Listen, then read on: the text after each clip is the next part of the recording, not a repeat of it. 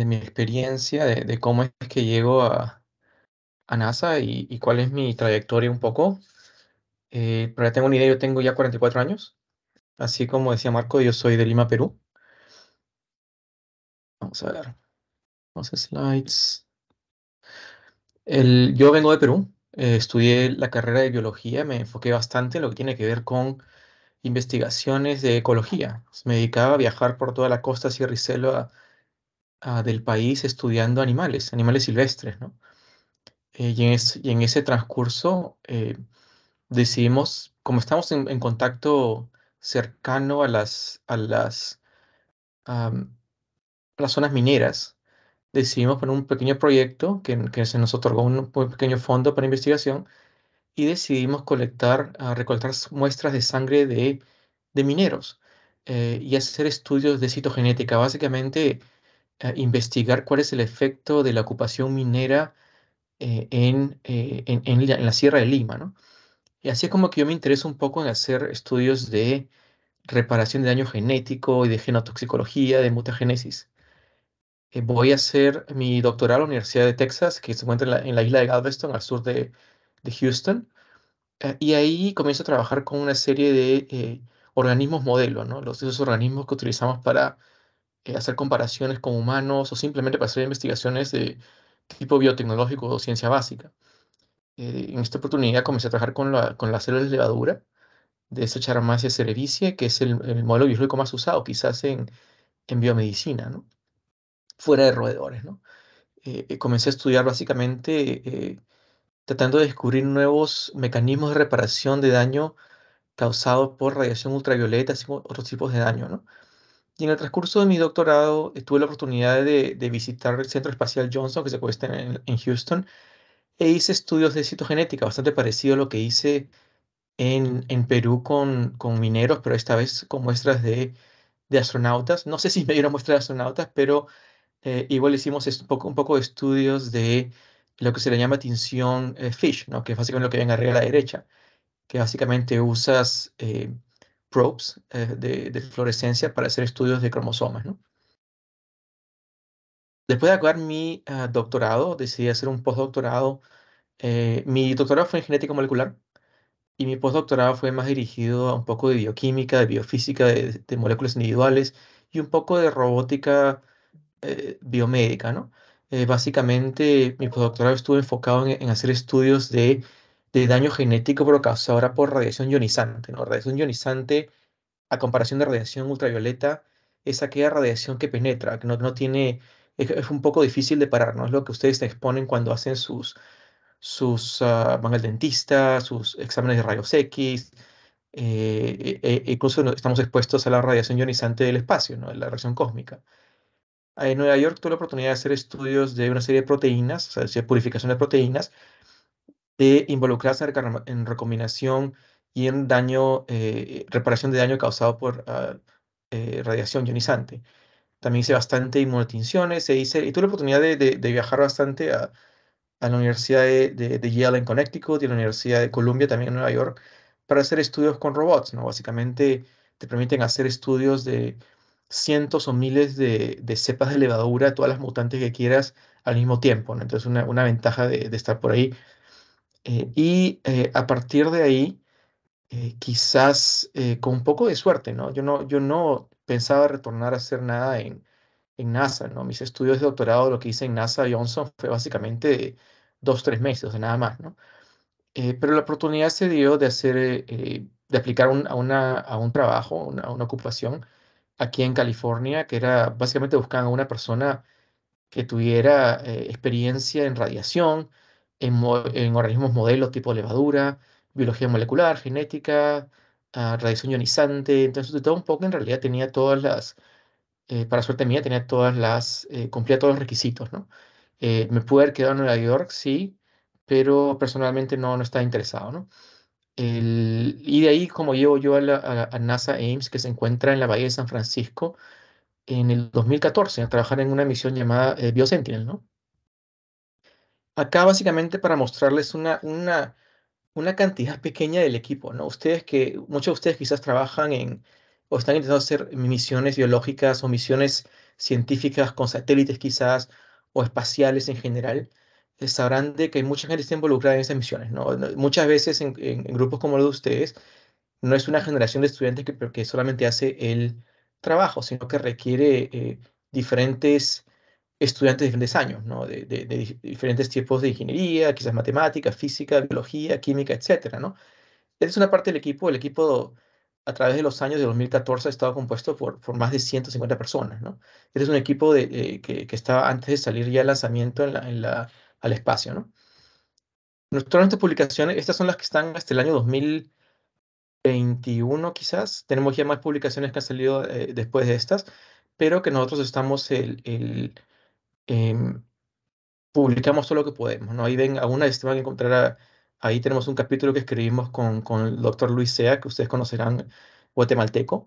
Eh, trabajo, he trabajado con él bastante eh, y, colaboramos bastante, ¿no? Entonces, eh, y también no sé si estar por ahí, el, no, no está acá, pero también trabajé bastante con, con, uh, un doctor de Costa Rica, que es nuestro ingeniero de, de, de informática, ¿no? El doctor Andrés Mora Vargas. Pero pues todas nuestras, publicaciones están disponibles abiertamente para si quieren saber un poco más de la emisión. Eh, a nivel de, qué nos interesa a nosotros de, como biólogos, como, como científicos, esto era un poco más el efecto de la, de la ausencia uh, o la presencia de, gravedad reducida a lo que tenemos en la, en la Tierra. ¿no? Hablamos de la, de la gravedad o microgravedad en la Estación Internacional Espacial o en el espacio libre uh, e incluso eh, una gravedad parcial como encontramos en la superficie marciana o en la Luna, ¿no? Queremos saber cuál es el efecto, ¿no? Se sabe por muchos estudios de que los humanos se ven muy, muy afectados a, nivel de, masa ósea, masa muscular, cardiovascular, equilibrio, etcétera, etcétera, etcétera. También sabemos que hay efectos en crecimiento en plantas y en microorganismos. Muchas veces estos microorganismos se ven afectados eh, y se vuelven un poco más, más patogénicos, virulentos, eh, más agresivos. Entonces, cuando tienes una combinación de astronautas que están inmunosuprimidos con organismos que están un poco más eh, agresivos, no es una buena combinación, ¿no? Entonces queremos saber un poco más cómo podemos eh, quizás preparar a los astronautas para, que, para combatir posibles enfermedades o infecciones y al mismo tiempo cómo prevenir que esos eh, organismos se vuelvan eh, agresivos, ¿no? Y el, otro, el otro compuesto, el otro componente importante del, del espacio a nivel de nuestro no estamos hablando nada de aspecto social ni de interacción, es la radiación, ¿no? Y la radiación eh, depende de dónde estás en el espacio, ¿no? Si estás dentro de la Estación Internacional Espacial, estás básicamente muy, muy cerca, eh, muy cerca tú a la, a la Tierra, ¿no? Estás simplemente a 350 kilómetros, a 420, dependiendo de la, de la, de la órbita de, de la Estación Internacional Espacial y estás protegido por la llamada eh, magnetosfera, campo magnético o las famosas correas de Van Allen. ¿no? Básicamente es el campo magnético que nos protege de la radiación cósmica. Básicamente, radiación cósmica, las partículas golpean eh, esta, esta, estas capas magnéticas que nos protegen. ¿no? Eh, aquí un ejemplo, por ejemplo, es eh, a la derecha, a la arriba, pueden ver una, un film, una, una, una un tipo de medición que se hacía en los años 70 o e incluso antes del tipo de partículas. Y como ven, hay bastante, hay todo un poco, ¿no? Pueden ver bastante tipos de partículas. Eh, cada una de esas líneas y esos puntos es un tipo de partícula, ¿no? Unas más gruesas que otras.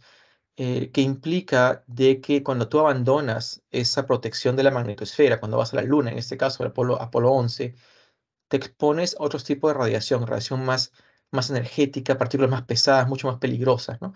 Y abajo a la derecha por efectos a nivel de eh, de, compuestos genéticos tipo el ADN, eh, como la radiación gamma y la radiación por compuestos más eh, o, partículas más pesadas como, como hierro, tienen efectos diferentes, ¿no?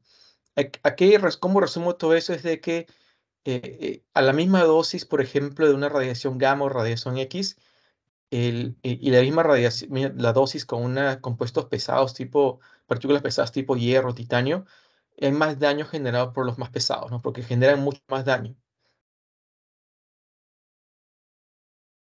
Y por supuesto tenemos los llamados partículas solares, ¿no? Los, protones solares o las partículas de helio que se producen en gran cantidad durante las, eh, llamaradas solares que se les llama, ¿no? que hubieron bastante en los próximos, los ah, tres meses de inicio del año. Que voy a decir un poco de data en un momento, ¿no? Eh, nosotros utilizamos organismos modelo en, en NASA Ames, eh, tipo levaduras, tipo otros organismos, para entender cómo, cómo protegernos eh, mejor para, para viajes de larga distancia, larga duración, ¿no? Es básicamente utilizar organismos modelos que nos permitan saber un poco más de cómo se ha afectado el organismo humano las células humanas sin tener que utilizar humanos, ¿no? Básicamente aprovechamos eh, la genética los organismos modelos tipo levadura, porque son muy parecidos a nivel genético, a nivel de reparación. No les digo que exactamente iguales, pero eh, ayudan como un tipo de ejemplo de cómo proteger a los astronautas. En NASA hemos, hemos producido o generado una serie de, de CubeSats, eh, básicamente son pequeños satélites para experimentos biológicos. ¿no? acá van a ver ejemplos tipo GeneSat, que utilizamos la bacteria Escherichia coli, utilizando expresión genética con fluorescencia, tenemos Pharmasat utilizando la levadura para estudiar los efectos de fungicidas en bajas órbitas y ah, hasta ICAMSAT en el 2017 para hacer estudios con bacterias uh, uropatogénicas, eh, eh, coli uropatogénica y cómo se ve, eh, eh, cómo se combate con antibióticos, ¿no? Todos estos experimentos hasta el 2017 fueron realizados en, en lo que se llama el LEO, ¿no? órbitas bajas terrestres, ¿no? Básicamente cerca de la Estación Internacional Espacial. Eh, pero ya con BioSentinel comenzamos a hacer experimentos más, más lejanos, ¿no? O sea, cómo, cómo construir un satélite que te permite hacer estudios autónomos, que es una cosa bastante importante de los satélites, te permite hacer estudios eh, con cierta autonomía, no, no necesitas astronautas, eh, pero implica cómo militarizar, cómo minimizar el espacio, cómo utilizar tecnologías nuevas en, en espacios pequeños, volúmenes pequeños, idealmente a bajo costo y cómo hacerlo totalmente autónomo, ¿no? Un poco más de la misión Artemis 1. Y nosotros tuvimos la, la, eh, la suerte de tener dos misiones con BioSentinel, una a la Estación Internacional Espacial, eh, a la izquierda, en, en, la, en, la, aeronave SpaceX 24, que fue lanzada en diciembre de 2021. Nosotros concluimos nuestros experimentos en, la, eh, en agosto del año pasado, cuando retornó, retornó nuestro, uh, nuestro payload, nuestra carga. Y a la derecha el ah, lanzamiento de Artemis 1 en noviembre 16 del año pasado. Básicamente, eh, la misión principal, el objetivo principal de Artemis 1 era hacer unas pruebas de que eh, para que Orión, que es la nave que va, va a comenzar a llevar astronautas idealmente el próximo año hacia la Luna, ¿no? alrededor de la Luna y a la, y a la superficie lunar en, unos años después. Eh, básicamente era para hacer las pruebas de que todo funcione bien. ¿no? Y se aprovechó la oportunidad de tener el espacio disponible, volumen disponible, masa disponible para llevar eh, pelos secundarios, ¿no? masas, eh, eh, cargas secundarias, en este caso CubeSats de 6U. 6U básicamente es un tipo de nomenclatura de 10 por 20 por 30 centímetros, una caja, una caja de botas, de zapatos grandes, ¿no? Eh, ahí pueden ver a la, arriba a la derecha es cuando se instalaron los diferentes CubeSats, fueron 10 de ellos en total, y todos fueron lanzados en el mismo cohete que Orión. Un poco más de Artemis 1, todo está disponible eh, abiertamente. Eh, nuestro satélite fue, eh, fue liberado quizás un deployment aproximadamente 3 horas 40 minutos después del lanzamiento, que se puede ver ahí cuando se separa la última sección del cohete de Orión, que está a la izquierda, a la derecha, se pueden ver los satélites pequeños, ¿no? actualmente Sentinel se encuentra aún activo, es la única misión de las 10 que continúa activa eh, y estamos aproximadamente en 24 millones de kilómetros de la Tierra, ¿no? Y seguimos enviando datos, ¿no? ¿Qué encontramos dentro de, nuestro pequeño CubeSat? Es una variedad de, instrumentos, como ustedes ya están familiarizados, desde paneles solares, baterías, sistemas de propulsión, eh, de, eh, de actitud, de radios, etcétera, antenas. Y dentro tenemos lo que llamamos nosotros el biosensor, ¿no? que es una, es una caja de 4 bus de 20 por 20 por 10 centímetros, eh, y los objetivos principales de la misión fueron, primero, desarrollar una tecnología que nos permita a nosotros mantener eh, organismos vivos, eh, vivos ¿no? en, el espacio profundo, básicamente fuera de la magnetosfera terrestre, y también hacer estudios de radiación en, a dos niveles. ¿no? Uno, investigar el tipo de radiación, la cantidad de radiación, las dosis de radiación, y hacer estudios con organismos vivos, ¿no? en este caso con, el, con células de levadura. Un poco más de información, básicamente una descripción de, de los componentes de Biocenter que ya han sido publicados. eh, que hay adentro, nosotros básicamente, las células de levadura son células de aproximadamente 4, 5, 6 micrones de diámetro. Eh, las secamos dentro de estas tarjetas de microfluido, que tenemos 18 en total, y básicamente eh, montamos una serie de comp- componentes electrónicos que nos permiten hacer mediciones de eh, ópticas, ¿no? Para es- estudios de crecimiento celular o de actividad metabólica. Además de los tarjetas de fluidos, tenemos lo que llamamos un espectrómetro de LET. LET, eh, por Linear Energy Transfer, también se le conoce como Stopping Power, es básicamente la cantidad, de energía que deja una partícula ionizante al chocar con algo, ¿no? Es básicamente la cantidad de energía que, que te golpea y es, y es dejada cuando una partícula pasa a través de, de materia. Eh, y puede ir desde poco, de poco LT con protones hasta LT bastante altos como partículas de hierro, de carbono, oxígeno, etcétera, ¿no? Y esta caja que el biosensor que les hablé antes es básicamente la que nosotros enviamos a la Estación Internacional Espacial con ciertos componentes electrónicos, ¿no? Y fue montada dentro de una incubadora en, la Estación Espacial. Y a la derecha ya pueden ver el, el- el equipo completo con todos los si- subsistemas, ¿no? Más detalles de lo que estaba dentro del- de, de BioSentinel.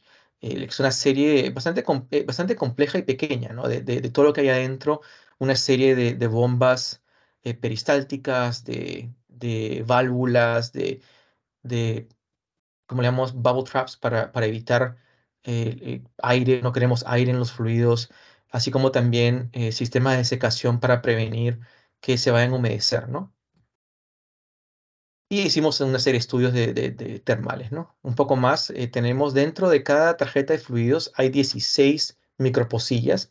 Es básicamente 16 huecos que nos permiten a nosotros poner una serie, una variedad de diferentes eh, cepas de levadura y las observamos utilizando sistemas de detección óptica con luz LED, ¿no? Tres luces de LED, cada una detectando cosas diferentes, ¿no? Una LED a 850 nanómetros es básicamente cerca al infrarrojo que te permite medir simplemente crecimiento celular o, lo que se llama tu- turbidity, ¿no? La, la- la cantidad del turbidez quizás de eh, la cantidad de, luz que no pasa, ¿no? A través de del sensor. Ah, y tenemos dos luces más, una de 570 y 630 que nos permiten medir la cantidad de, de, tinte metabólico. En este caso utilizamos un tinte metabólico conocido como resazurina o, al- o alambre blue, que a a la derecha, eh, va de un color ah, azul en estado eh, oxidado a, una, a un color, un color rosado intenso cuando está, se reduce y ahí continúa un color claro. O sea, básicamente nosotros podemos medir la cantidad de color dependiendo de cuánto se demora en crecer, ¿no? Y como pueden ver acá en este estudio, arriba a la derecha pueden ver que a mayor cantidad de radiación, más lento se vuelve la, la, eh, la capacidad metabólica de las células, ¿no? E hicimos estudios también utilizando en este, en este caso eh, eh, simulaciones de, de GSR, que es básicamente radiación cósmica galáctica, que utilizamos en el laboratorio de Brookhaven, que se encuentra en, en Nueva York, en, en State, eh, State Island. Eh, y básicamente eh, vimos de que eh, las levaduras son bastante sensibles utilizando este sistema de medición de tinte metabólico.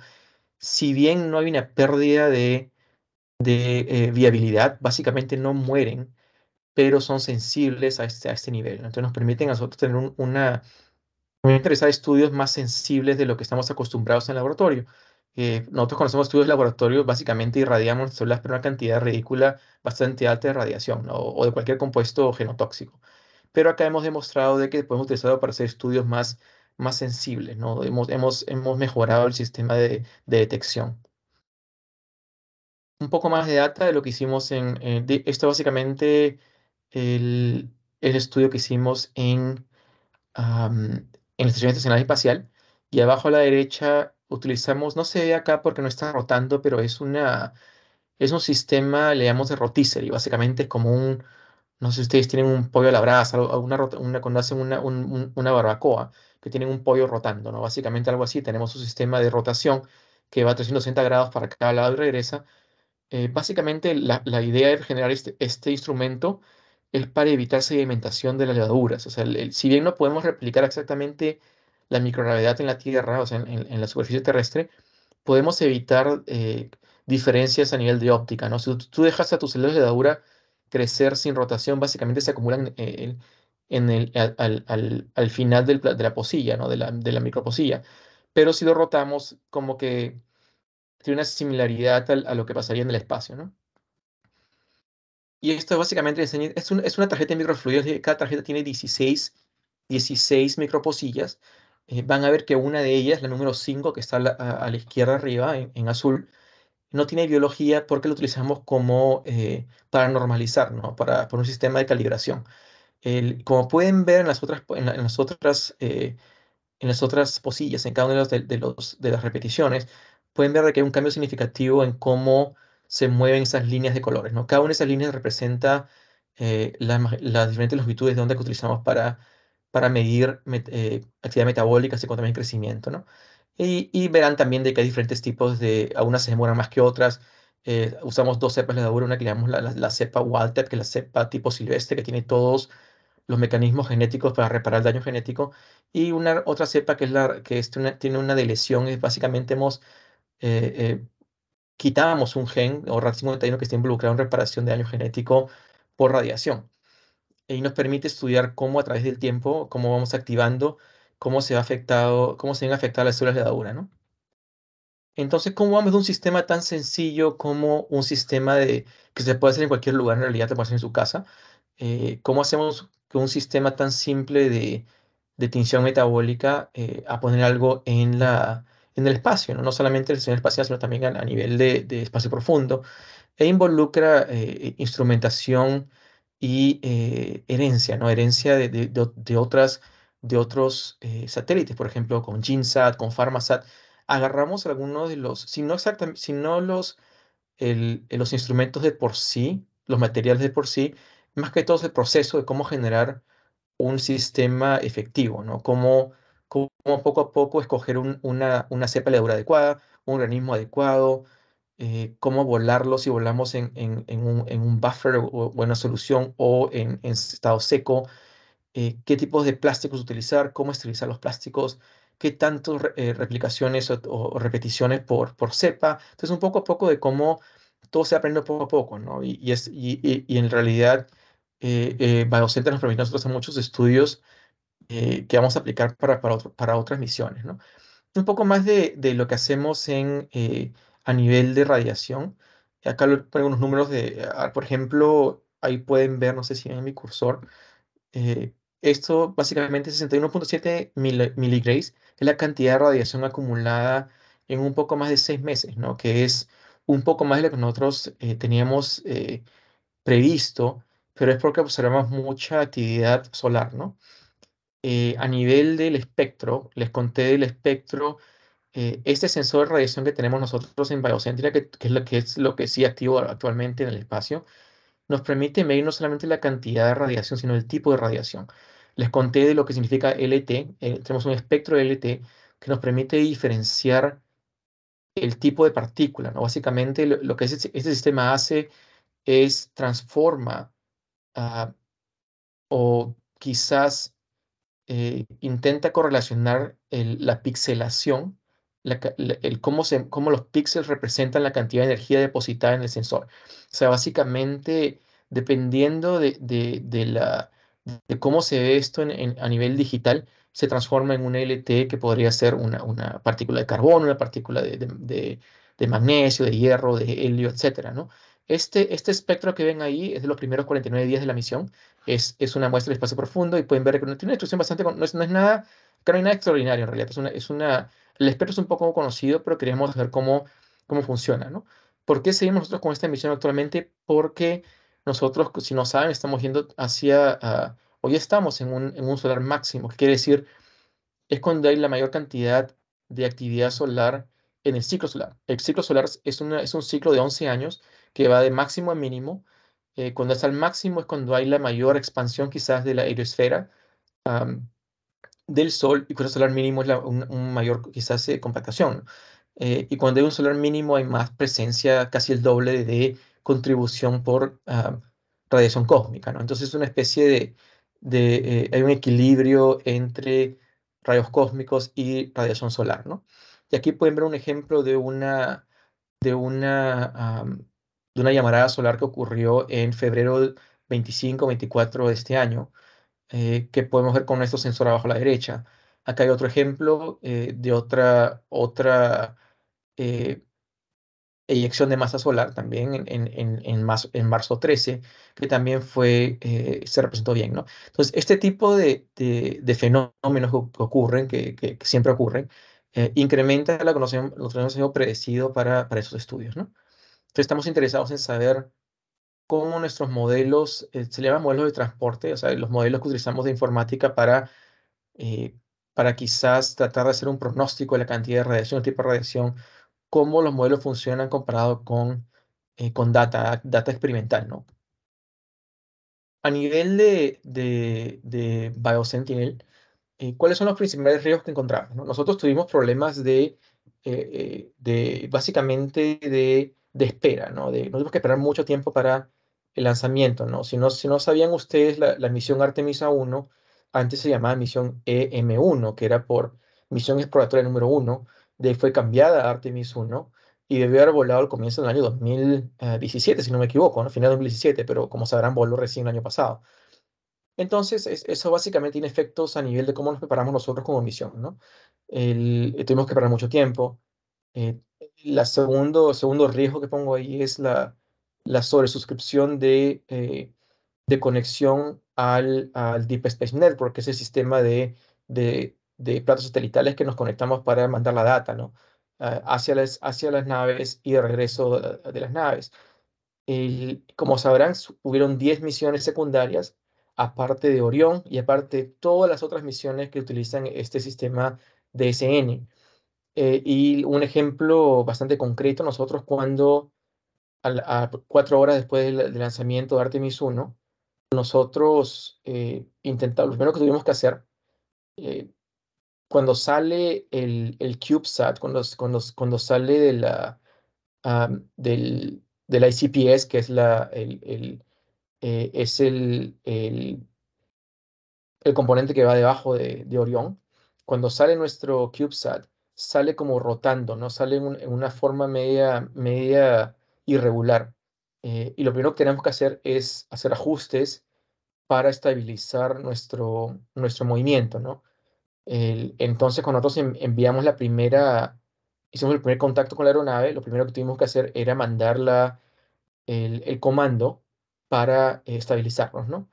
Y eh, básicamente lo que sucedió es que no hubo suficientemente, suficiente tiempo para estabilizarnos. Entonces declaramos una emergencia, ¿no? Básicamente lo que hacemos es eh, nos contamos con, con el sistema de, de satélite, decimos, tenemos un problema, eh, y tuvimos la suerte de que eh, otro de los, de los satélites de, de, el Jet Propulsion Laboratory en Pasadena nos donó su tiempo para, para hacer un ajuste. Entonces nosotros tuvimos la oportunidad de hacer un ajuste inmediatamente y corregimos nuestra trayectoria. ¿no?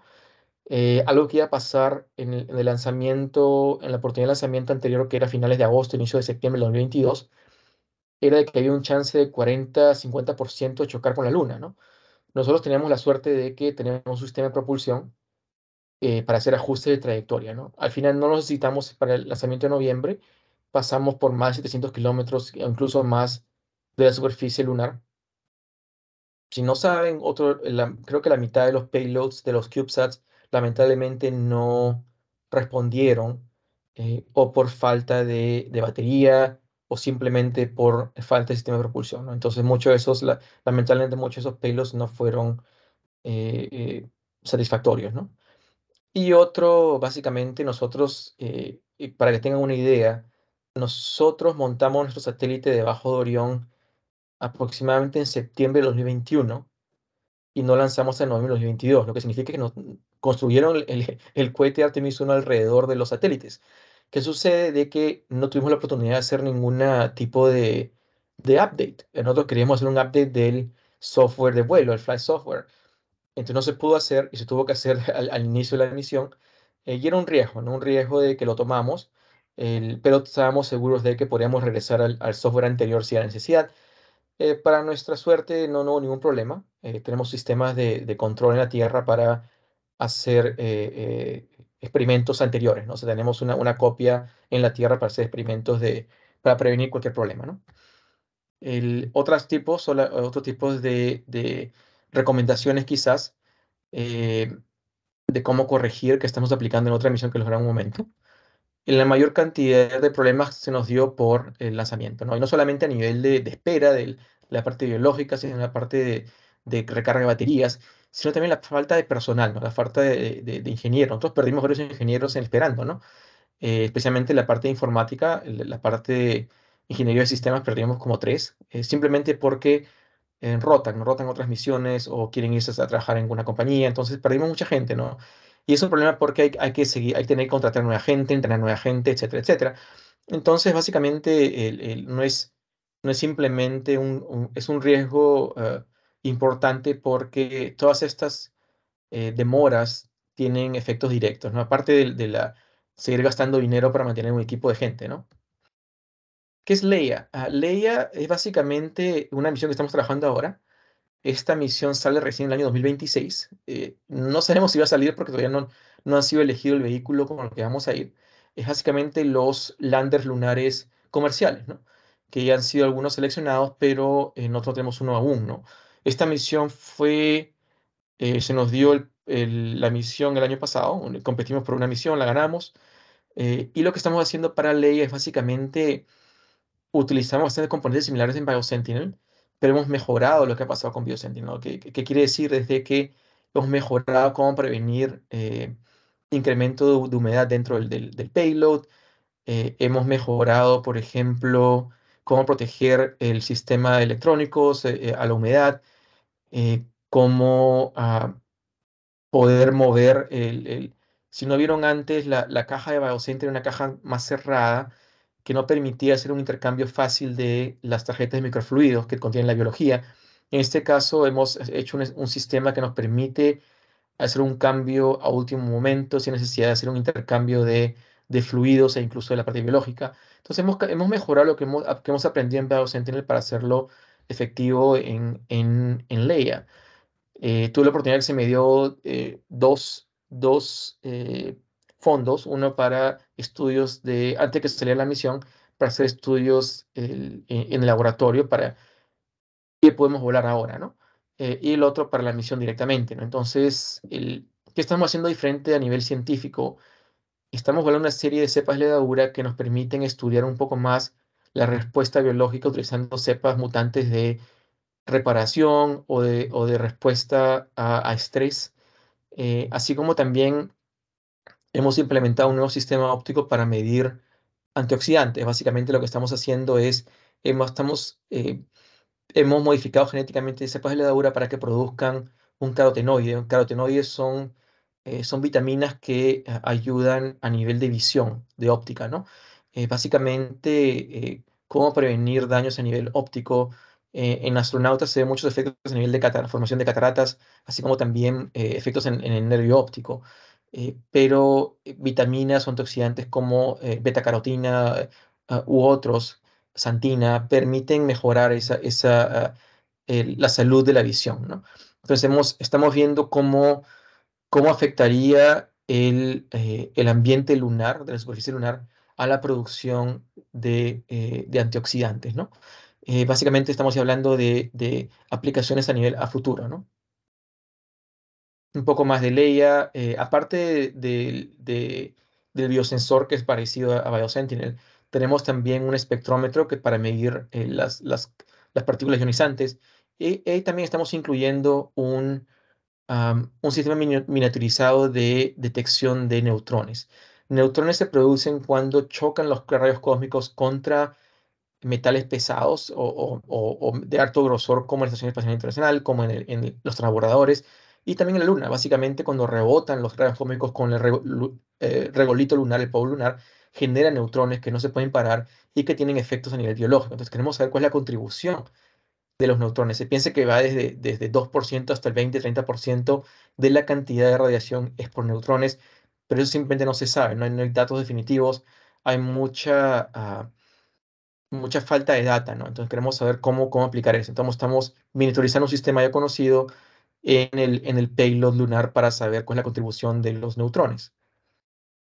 Otro proyecto que estoy trabajando ahora, y estoy acabando ya para darles más tiempo para preguntas, es eh, estudios de evolución. Básicamente lo que hago es, eh, tengo cepas de levadura que están, tienen eh, código de barras eh, genéticos, son básicamente secuencias de, únicas de nucleótidos. Entonces tengo una población de cientos de miles de, de células cargando diferentes códigos de barras y hago estudios de cómo nuevas mutaciones aparecen. Básicamente eh, hago muchas, transferencias de células en un sistema de replicación de, de, de microgravedad que ven ahí arriba a la izquierda y hago transferencias celulares a través de muchas generaciones y ver cómo nuevas mutaciones aparecen eh, con el objetivo final de entender cómo aparecen estas mutaciones y cómo se combaten en organismos más agresivos, quizás como la, la cándida, que es una levadura agresiva, ¿no? Eh, que es, este, perdón, es patogénica. Eh, otros, otros estudios que tenemos, que se me otorgaron un par de premios, es para estudiar los otro tipo de sensores, de biosensores, por ejemplo, utilizando campos eléctricos. Básicamente haces una, generas un campo eléctrico alrededor de tu muestra biológica o, contenidos líquidos y ves cómo se va, eh, va cambiando cuando las células comienzan a crecer, se expanden, se dividen, eh, crecen más lento, más, más rápido. Todo esto se puede detectar con, eh, con sistemas de, eléctricos. ¿no? Estamos viendo cómo, cómo añadir esto a tu sistema ya conocido de, de, de absorbancia, de óptica. Y este es otro proyecto que trabajo para hacer estudios de respuesta en la Luna, ¿no? a, más, a más nivel, a más de, más de laboratorio. Eh, tuve la oportunidad de tener una colaboración en Canadá con un grupo eh, en una mina. Es una mina que se encuentra ubicada a 2.200 metros de profundidad. Es una mina de níquel, si no me equivoco. tiene un laboratorio biológico abajo. Básicamente, eh, lo que hacen son estudios de baja radiación. ¿no? A este nivel de profundidad, estamos hablando de, de una cantidad bastante elevada de, eh, bastante baja, perdón, de radiación, ¿no? Porque no se bloquea con toda la tierra que hay entre la superficie y la, y la mina. Eh, aquí se hacen estudios, por ejemplo, de, captura de neutrinos, de estudio de supernovas y ahora de materia oscura. Entonces, básicamente, eh, a este nivel de, profundidad se ha observado de que organismos modelos tienen una... Ah, no son capaces de, de de protegerse, por ejemplo, a genotóxicos, ¿no? Lo que me refiero es de que eh, no están adaptados a responder bien contra la radiación, por ejemplo, ¿no? Porque no, no, no crecen en ese nivel, ¿no? Entonces, básicamente se hacen estudios de, de, de, un continuo, ¿no? Desde, desde estudios de baja gravedad, eh, baja gravedad, baja radiación, hasta alta gravedad de radiación, ¿no? Entonces, básicamente, que eh, es lo que estamos trabajando ahora, es básicamente tener un poco más de qué podemos hacer con este tipo de instrumentos, ¿no? De, de biosensores o biotecnologías, bioproducción de, químicos de interés como antioxidantes, como vitaminas, etcétera, etcétera, eh, utilizando sistemas autónomos tipo satélites, ¿no? como CubeSats, eh, eh, en, la Tierra, en el ISS, en el Lunar Gateway, que es la, estación espacial lunar que en un momento se construirá alrededor de la Luna, estudios como BioSentinel, landers lunares y un poco poco ir un poco más para allá, hacia Marte. ¿no? La idea, la idea final es cómo utilizar sistemas modelo tipo levaduras eh, de, bajo costo que podamos mandar más poco, a poco antes de que mandemos astronautas a Marte, que estamos hablando de misiones largas eh, de 20 años para, para arriba, ¿no? No, no, no, tenemos una fecha, una fecha completa. Entonces, básicamente es la idea, ¿no? De cómo utilizar nuevos sistemas tecnológicos, eh, instrumentación para hacer estudios biológicos y de ciencias en general, ¿no? Ya para acabar, básicamente, no sé si han visto esto antes, si me han visto presentar antes, ¿no? Básicamente el lanzamiento de Artemis 1 que, que tomé yo mismo, la, la mía de abajo, ¿no? Para que vean un poco.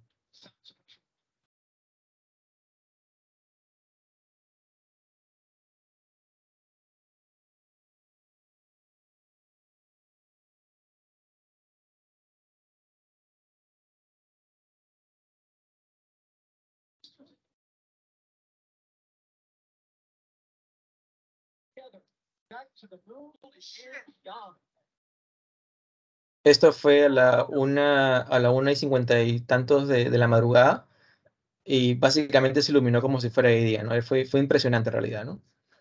Y ya con eso acabo eh, para responder sus preguntas, ¿no? Muchas gracias.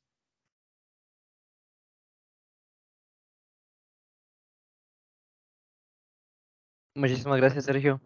Y bueno, yo no sé si alguien en el público tiene preguntas, si no, yo ahí tengo varias, pero ahí, démosle chance, a ver. Las pueden poner en el chat o... Ah, bueno, ahí veo que ya hay... Noemi hizo dos preguntas en el chat.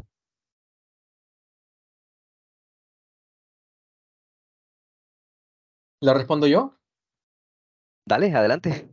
A ver, am, Noemi pregunta, ¿dónde podemos leer los papers que nos mencionó en esa charla? Eh, bueno, buscas como cualquier artículo, buscas mi, nombre y eh, lo encuentras, ¿no? No es, no es, ah, no es secreto, ¿no? Puedes buscarlas a través de, escribes NASA BioSentinel, deberían salir todos los artículos, ¿no? Tenemos una serie de artículos que publicamos recientemente en la revista ah, Astrobiología, Astrobiology, y todos son abiertos al público, ¿no?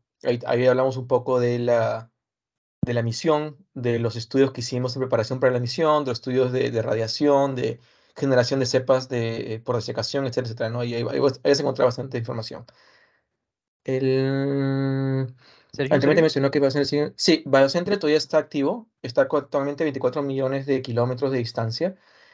Eh, básicamente lo que hacemos al, al inicio de la misión, para que tengas una idea, contactábamos con la aeronave o, la- o el satélite cada tres veces al día, ¿no? O sea, bastante, bastante eh, rápido, ¿no?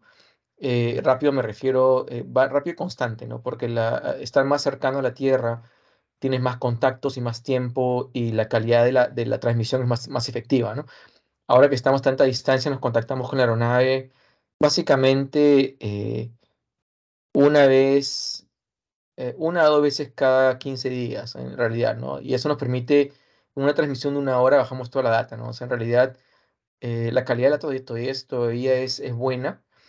El, y la idea es conseguir eh, se- seguir haciendo eso, ¿no? La vida útil, como dices tú, es importante porque eh, si bien es un, es un satélite pequeño, la inversión no fue tan pequeña, ¿no? Entonces hay que, hay que tratar de maximizar lo que podemos, ¿no? Si la, si la nave funciona bien, si bien la parte biológica ya terminó hace tiempo, queremos todavía seguir utilizando la nave, ¿no? No solamente para estudios de radiación, que es lo que hacemos principalmente, sino también para hacer estudios de comunicaciones, de, de eh, ¿cómo le llaman en español? Em, de confianza, no sé cómo decirlo, de, de- de- cómo confiar en el equipo, ¿no? De, de- cómo algunos instrumentos que, que puedes comprar en, en- cualquier lado fun- siguen funcionando, ¿no? O sea, es más, más que todo de, reliability, ¿no? No, no sé cuál es la, la palabra en- en castellano, ¿no? Pero básicamente es para, para ver qué, qué tan, por qué tanto podemos seguir estudiando o hacer estudios de telemetría, hacer estudios de navegación, eh, o vamos a esperar hasta que muera, ¿no? Básicamente hasta que, hasta que muera probablemente por radiación, ¿no? Eh, pero por ahora todo bien, ¿no? No, hemos tenido problemas obviamente, pero no, eh, hemos tenido una extensión de hasta 18 meses, lo que significa estamos yendo hasta un año el próximo mes, en noviembre, y continuamos eh, idealmente hasta noviembre del 2024, ¿no? Dos años en total. Eh, y se verá, ¿no? No, si vamos a llegar a dos años no lo sabemos, ¿no? Básicamente es, va a haber un momento en que quizás la, la calidad de la transmisión va, se va a deteriorar bastante vamos, vamos a tener que, que reducir los contactos o seleccionar qué data enviar, ¿no? En, en poco a poco, ¿no? ¿Alguna otra pregunta? Súper bien. Bueno, por una parte, decirles que si quisieran, ¿verdad?, hacer las preguntas por voz, y pueden hacerlo también, como quieran. Y yo quería preguntarte algo ahorita que mencionaste esto de los artículos, y es, ¿ya hay papers publicados con los resultados de BioSentinel? Eh, no, el BioSentinel, eh, como les dije, como les di un poco de, quizás de hints, ¿no? Fue, tuvimos problemas de humedad, ¿no? Lo, que sucedió en la Estación Internacional Espacial tuvimos la data perfecta, no, no, no, no mayores problemas, ¿no? Lo que sucedió en eh, Artemis 1 es eh, básicamente un mes después del lanzamiento, aproximadamente Navidad del 2022, eh, comenzamos a recibir data eh, electrónica de, de la parte óptica que está un poco deteriorada, ¿no? Que no, no debería haber pasado, ¿no? Lo que pensamos que sucedió es de que Eh, eh, para que tengas una idea, la, la, la- el CubeSat, la parte del, del, del payload, ¿no? La caja, la caja que estaba cerrada herméticamente, fue sellada a, a inicios o a finales de 2000, ah, perdón, a inicios del 2020, si no me equivoco. Ha estado sellada desde el 2020. ¿Qué sucede en una caja sellada con líquidos? Comienza, inevitablemente comienzan a, incrementar la, la humedad, ¿no? Eh, lo que pensamos que iba a pasar es de que eh, esta humedad se, se metió dentro de los contactos electrónicos y quizás eso comenzó a generar data eh, eh, solamente afectaba al, al, al, biológico, ¿no? No afectó nada, nada de, de la radiación ni nada de la, de la aeronave de por sí, ¿no? Al, al famoso bus que se le llama, contiene todas las partes de, de navegación, de radio, etcétera, etcétera. El, y tuvimos que nosotros en un momento, ya meses después, en marzo aproximadamente, tuvimos que nosotros eh, básicamente apagar, apagar el biosensor, ¿no? Porque nos preocupaba de que comenzamos a notar incrementos significativos de temperatura.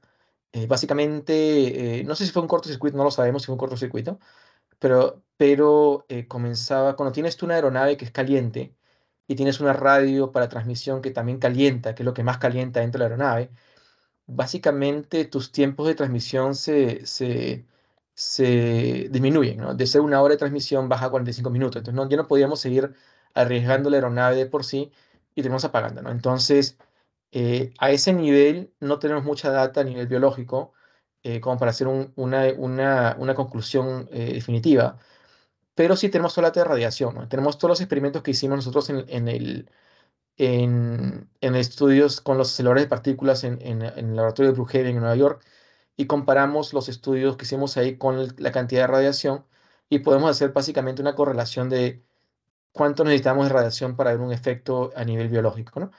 Y lo más importante quizás es de que todo lo que hemos aprendido nosotros de, de Biosentry lo estamos aplicando en Leia, ¿no? O sea, todo eso que te digo de, de prevención de los contactos, de, de, de secación, de, de evitar, eh, de evitar un incremento de la humedad, ¿no?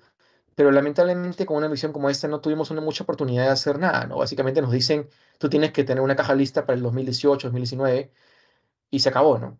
Eh, y el costo, y el costo para, para generar una caja es significativo. Entonces no tuvimos la oportunidad y eh, hemos aprendido bastante y vamos a aplicar eso, ¿no? Para, para, ah, para Leia y para otras misiones que estamos preparando, ¿no? Pero sí, la idea vamos a publicarla, ¿verdad? A tu, eh, a tu pregunta, eh, lo primero que yo quiero hacer es, estamos trabajando en una publicación que va a salir pronto ya de la parte de radiación, de los estudios de radiación eh, y comparaciones con los modelos informáticos y también la parte de la misión de eh, la Estación Internacional Espacial. Todo eso va a ser publicado, en- espero, a finales de, de este año y la data va a ser publicada abiertamente también, ¿no? La, la idea es de que a nivel de radiación a mí me interesa publicar la data, obviamente, pero hay gente que está más interesada, por ejemplo, en la parte de heliofísica, de protones, todas esas cosas, que yo no voy a meterme, entonces básicamente la libero para el, para el público, lo que quieren publicar de eso, que bienvenidos, ¿no?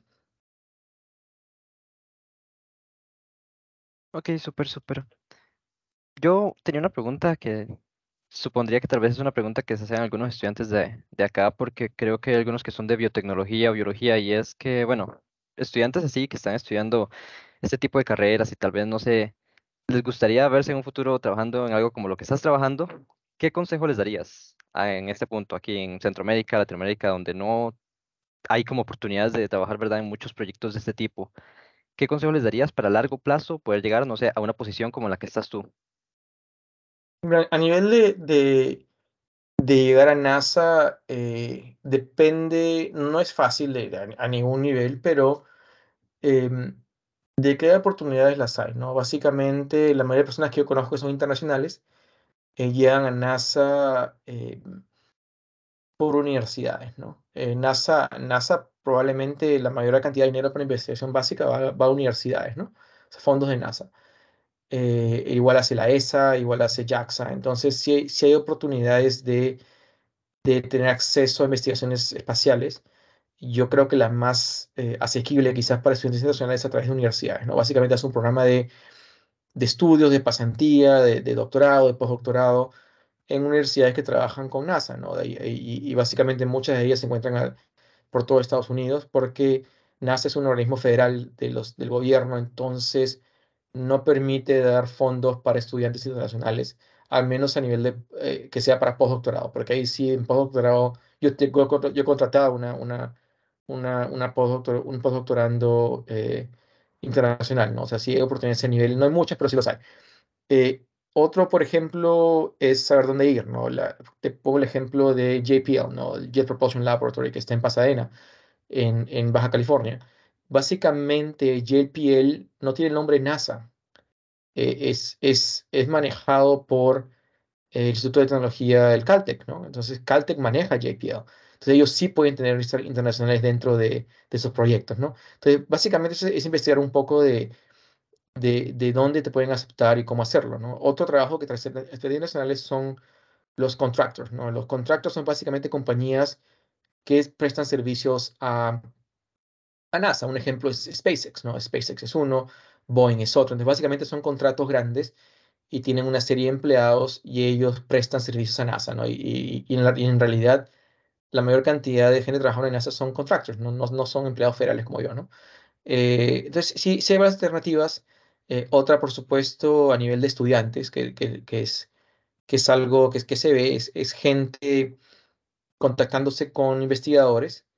Eh, la, la, mayor limitante, lamentablemente, es de que nosotros no podemos pagar a estudiantes internacionales, ¿no? No, no, no nos permiten hacer eso si tú tienes tus propios fondos de, de, para trabajar, ¿no? Si tienes tu, tu, universidad, tu país, tu instituto, eh, te pueden a ti brindar eh, un, una, una, pasantía o te, te pagan la pasantía. Eh, la mayoría de investigadores no tienen problema en hacer eso, ¿no? es, es, papeleo para nosotros, básicamente, ¿no? Pero nosotros no podemos prestar nada, nada de dinero para, para internacionales, ¿no? no, es, es, es un, no, es nuestra decisión, es una parte del, del gobierno federal, ¿no? Pero hay, hay bastantes websites que hacen esto, ¿no? Hay bastantes websites que que tienen... Eh, eh, ¿Ustedes tienen una agencia espacial costarricense? Uf, eso es un tema complicado, pero la respuesta corta sería sí. Ok, porque eh, lo que se hace normalmente, NASA tiene convenios de país a país o de NASA a su equivalente en los países, y así es como llega gente más fácil, ¿no? Hay, hay gente europea que viene y trabaja en NASA porque tienen una colaboración o una, perdón, una, un tratado, digámoslo así, ¿no? Entonces así es como entra mucha gente, ¿no? Pero muchos países como Perú, donde soy yo, no, no, no existe eso, ¿no? Entonces, básicamente, eh, el, es un problema, ¿no? De que yo no puedo financiar a nadie de Perú u, otros lados, ¿no? Pero sí viene gente de otros países que ya hay un contacto y hay un acuerdo eh, eh, internacional, ¿no? Entonces, en ese sentido es más fácil, ¿no? Eh, y eso lamentablemente depende de la parte política también, ¿no? Ok, y yo tenía una última pregunta esperando que hayan más en el público, pero bueno, ¿cuáles son algunos temas o necesidades o problemáticas de biología que aún requieren como mucha, mucha investigación a nivel espacial y que están como, como en el mejor momento para investigarse? Uh, ahora, eh, básicamente, el, nosotros lo que hacemos en NASA, nosotros tenemos una, una serie de guías, ¿no? una serie de documentos que tenemos que seguir.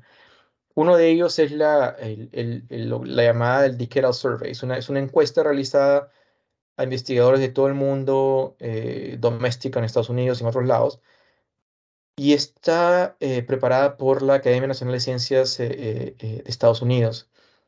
Y básicamente este documento lo que hace es como que es una guía que le dice a NASA, en esto deberíamos invertir el dinero, ¿no? Muchas veces NASA sigue esa línea. Eh, por ejemplo, el último documento que, va que iba desde el 2012 al 22, si no me equivoco, eh, decía hay que hacer más trabajos en roedores, pues, ¿no? En, en, ratones.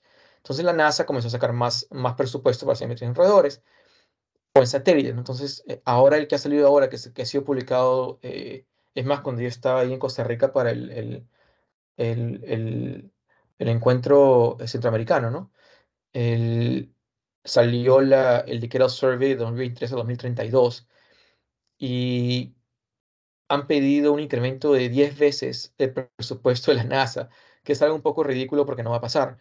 Eh, NASA tiene un presupuesto de eh, 24 mil millones de dólares, me parece, al año, que no es mucho cuando casi todo se va para hacer estudios de, de, de Artemis o, de, o del Webb Telescope o, o los rovers eh, marcianos. Entonces, eh, es un montón de dinero, sí, pero no mucho eso va a la, a, desafortunadamente, la parte eh, biológica, ¿no? Entonces, la, la, el Decadal Survey, que es especializado en la parte de, de, ciencias físicas y biológicas, ha pedido un incremento de 10 veces el, el, presupuesto, ¿no? Que no, no creo que vaya a pasar, ¿no? Pero el, básicamente usamos estas guías, ¿no? El, eh, mi experiencia es de que se va a invertir más en la parte de eh, salir un poco de roedores, ¿no? ¿Y por qué digo eso? Porque roedores es una parte muy importante de investigaciones en Estación Internacional Espacial, que va a ser jubilada, pues retirada en, en, en el 2030, si no me equivoco, no es lo que se dice ahora.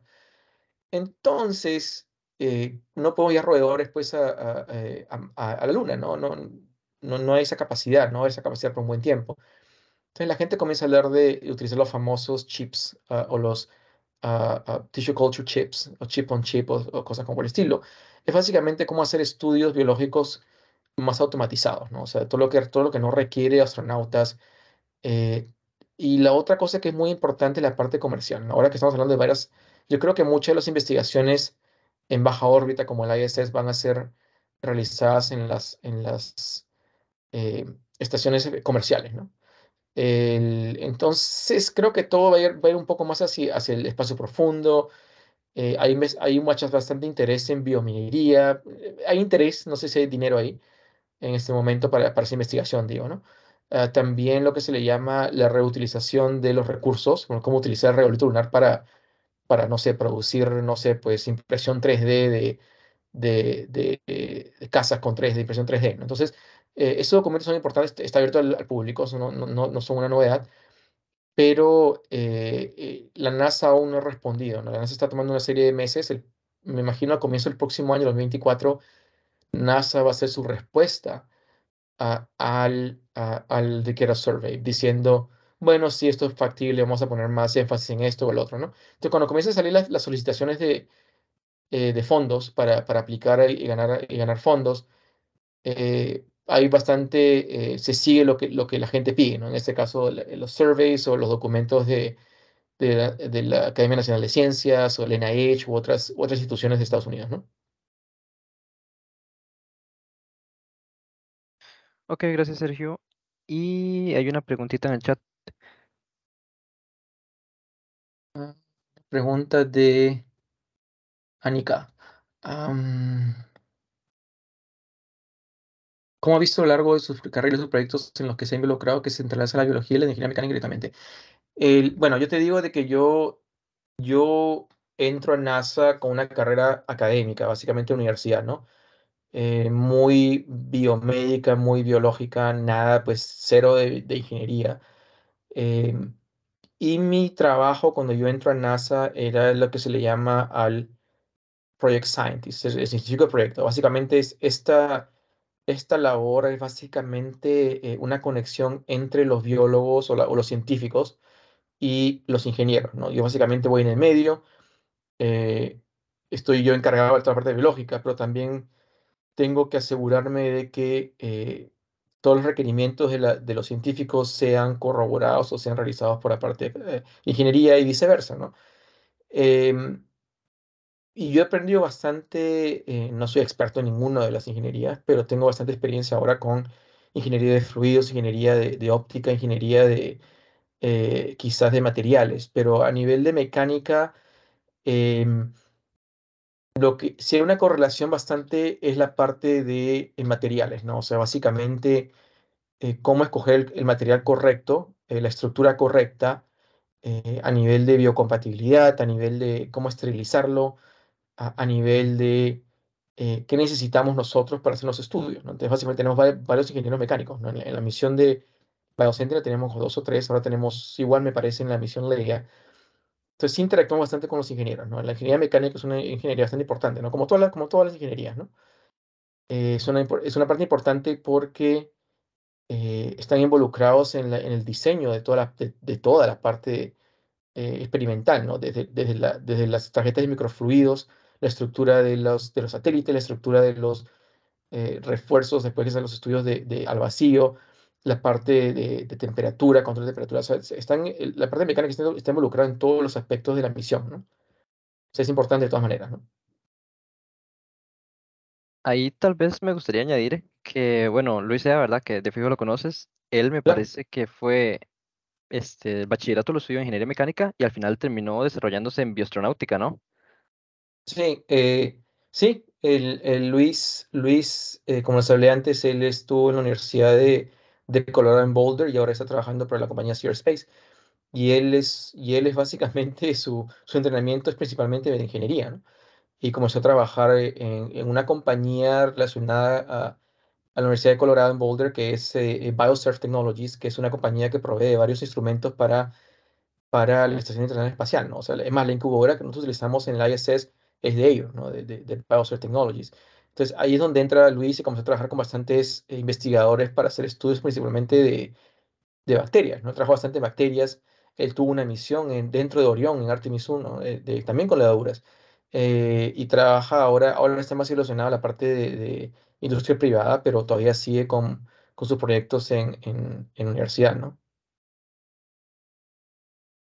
Pues sí, y lo digo, digamos, porque no sé si tal vez Anika es que estudia mecánica y tal vez, ¿verdad? Le gustó mucho la parte de biología. Entonces, sí, es como, todavía es posible, ¿no? Hacer una carrera en biología, más o Por menos, supuesto, y sí, sí, claro. El, el, eh, mira que es- estamos hablando, me imagino que estamos hablando de un bachillerato, ¿no? Entonces, la mayoría de gente, la gente que trabajé con BioSentinel, hay, hay un abuso de- del número de, de doctorados, ¿no? Casi todo el mundo tiene un doctorado, ¿no? Es una, eh, es una misión cara porque casi, casi todos los, los, los ingenieros eh, tenían doctorados en, en, en ingeniería, ¿no? Y todos los científicos tienen doctorados, entonces hay, hay diferentes niveles de preparación, ¿no? No necesitas un doctorado, no, eh, pero es un nivel que te permite especializarte, ¿no? Yo, yo he tenido estudiantes que, que son ingenieros mecánicos, eh, de informática, de, de- de fluidos, de, de, no sé, pues químicos, eh, eh, entonces de todo un poco, ¿no? Entonces no, creo que si una carrera eh, eh, en, en una materia específica no, no te limita a, a hacer estudios de, de- de biología, ¿no? Eh, pero eh, si puedes conseguir experiencia en, en el camino es ideal, ¿no?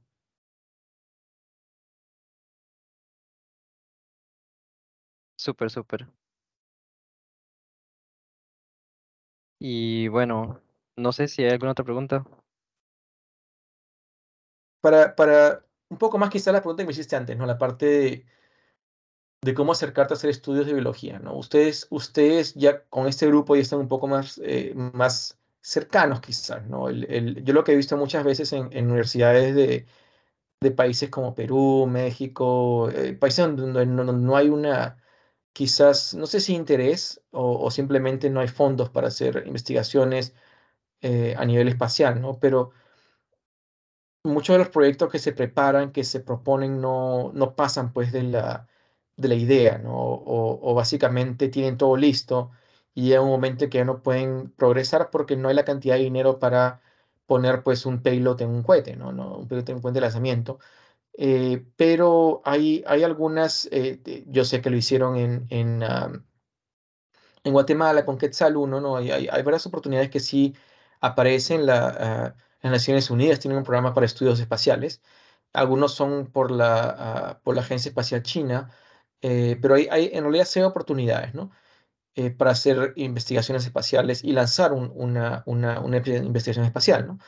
Eh, a, a otros niveles, por ejemplo, si ustedes quieren involucrarse más eh, y no lo pueden hacer en su país de origen, busquen universidades para hacer su posgrado eh, o busquen compañías para hacer, para hacer investigaciones que estén relacionadas a nivel espacial, ¿no? O sea, no, eh, eh, si quieren ir a NASA es un poco más difícil, pero trabajando en, sus posgrados en universidades que trabajan o investiga, con investigadores que trabajan con NASA, te permite hacer esa conexión, ¿no? Que, que quizás te ayude después para entrar a NASA o a la ESA o a JAXA o Roscosmos, eh, a cualquier agencia espacial que tiene, que tiene proyectos espaciales, ¿no? Entonces, sí, sí hay varias oportunidades, simplemente saber, saber cómo, cómo encontrarlas, ¿no? Sí, el, el- la UNOSA, ¿no? Sí. Bueno, y en caso de que no haya más preguntas, entonces te agradecería mucho, Sergio, por haber pasado aquí este ratito con nosotros y hablarnos de biología y, y temas súper interesantes, la verdad. Por supuesto, cu- cuando, quieran, ¿no? Eh, las preguntas son bienvenidas, ustedes me pueden encontrar en internet, no, no, no soy difícil de encontrar en realidad, ¿no? Pero eh, la mejor de las suertes para todos ustedes y cualquier pregunta me contactan nomás. Súper bien. Muchísimas gracias, Sergio. Ok, cuídense. Chao. Chao, buenas tardes.